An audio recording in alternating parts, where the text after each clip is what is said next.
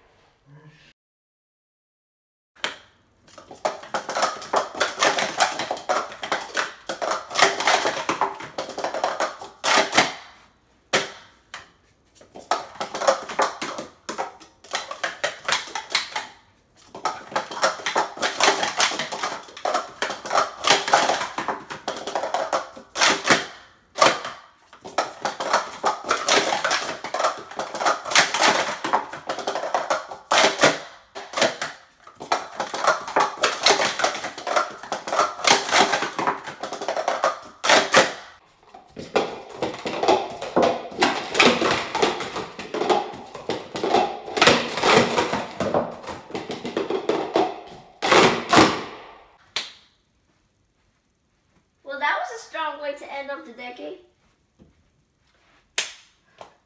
Happy New Year, guys. I hope you enjoy 2020.